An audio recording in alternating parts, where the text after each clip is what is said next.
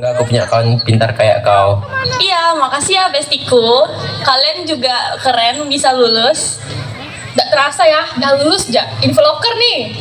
Indomaret sama Alfamart kan ada. Mana ada barang untuk sini? Ya berantau lah ke kota. Nadine, kamu kerja ke Indomaret kah, Alfamart?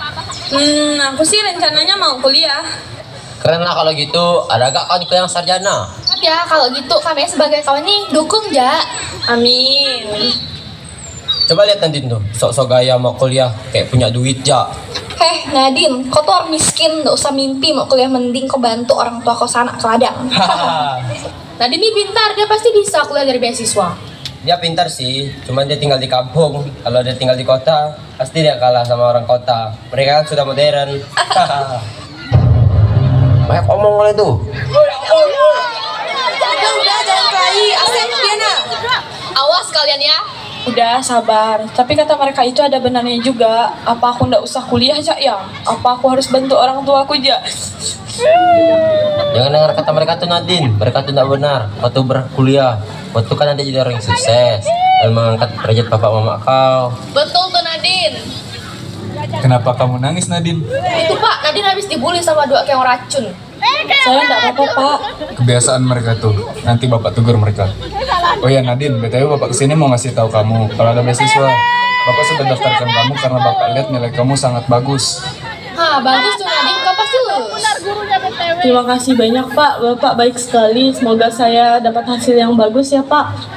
Amin, kamu pasti lulus. Amin. Kalau gitu kami pamit pulang dulu ya, Pak. Ya, hati-hati. Misi Pak. Di perjalanan pulang, Nadine memikirkan kata teman-temannya tadi. Kalau dia tidak pantas kuliah. Ia sebenarnya sangat ingin kuliah, tapi di sisi lain, ia juga kasihan pada kedua orang tuanya yang bekerja keras padahal sudah tua. Nadine sangat bingung, apalagi ia sudah didaftarkan beasiswa oleh Pak Guru. Mak, Pak, aku udah pulang nih. Eh Nadine, gimana sih tadi nak? Aku lulus, Mak, dengan nilai tertinggi. Puji Tuhan, anak bapak memang hebat. Kok muka kau tuh cemberut bener Nadine? Kayak orang nggak lulus. Nggak apa-apa, Mak. Nadine masuk kok ya. Ya, mama sama bapak mau lanjut ke ladang dulu ya. Nadine kemudian duduk dan merenung. Ia berdoa kepada Tuhan agar ia mendapat jawaban dari pergumulannya. Nadine adalah anak yang senang berdoa, jadi ia akan selalu berdoa kepada Tuhan dalam suka maupun duka. Ya Tuhan, saat ini aku sedang bingung dengan masa depanku. Aku ingin menyerahkan semuanya ke dalam rencanamu. Aku yakin ya Tuhan, Engkau sudah menyiapkan yang terbaik untukku. Tunjukkanlah jalanmu ya Tuhan. Amin. Halo Bang, Nadine, gimana hasilnya? puji Tuhan aku lulus Bang. Puji Tuhan, aku ikut senang dengarnya. Nadine, nanti kita hari Minggu sampai ke kota ya. Katanya di sana kamu bisa minta didoakan secara pribadi sama susternya. Mau kan Nadine? Mau sekali Bang, sekalian aku mau minta doakan sesuatu. Oke Nadine, aku lanjut kerja dulu ya. Iya, semangat ya Bang. Nadine juga memiliki pacar yang bernama Marcus. Mereka adalah pasangan yang penuh dengan cinta. Bahkan, Marcus berjanji akan menikahi Nadine jika ia sudah mempunyai uang yang cukup. Hari berganti hari. Tibalah waktu yang telah ditunggu oleh Nadine. Ia dan Markus berangkat ke kota untuk mengikuti misa. Selesai misa, Nadine minta didoakan oleh seorang suster. Selamat pagi suster, saya Nadine. Saya mau minta didoakan sama suster, boleh kan? Boleh, kamu minta didoakan apa? Saya bingung sama masa depan saya suster. Saya minta doakan agar saya mendapat jalannya. Baiklah, sekarang kamu berlutut ya. Nadine pun didoakan oleh suster. Nadine kemudian menangis. Ia terharu mendengar doa dari suster itu untuknya. Nadine, kamu anak yang hebat. Saya merasakan lukamu yang begitu berat, namun engkau mampu melewatinya. Percayalah Nadine, Tuhan selalu ada dalam setiap prosesmu. Terima kasih suster, sekarang pikiran saya lebih terbuka. Iya, sama-sama.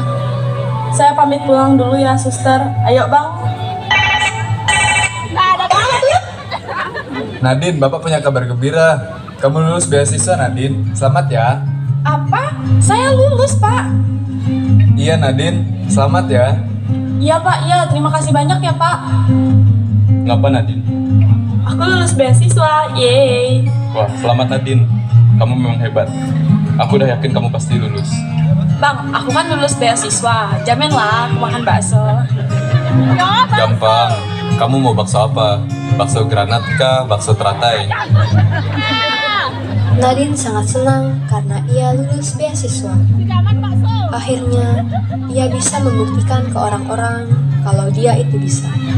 Tiba-tiba, terlintas di pikiran Nadine saat melihat Suster Maria tadi.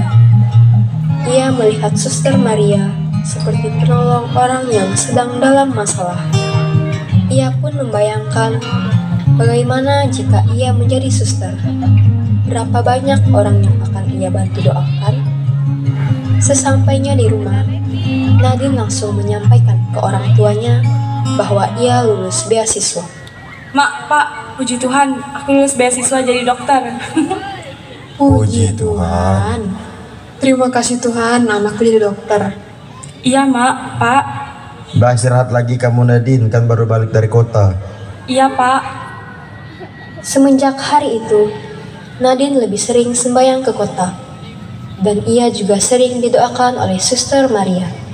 Hati Nadine pun tergerak karena ia sering merasakan panggilan Tuhan untuk menjadi biarawati, baik secara langsung maupun dalam mimpi. Beberapa bulan kemudian, Nadine memilih untuk menjadi biarawati. Ia pun memberanikan diri untuk memberi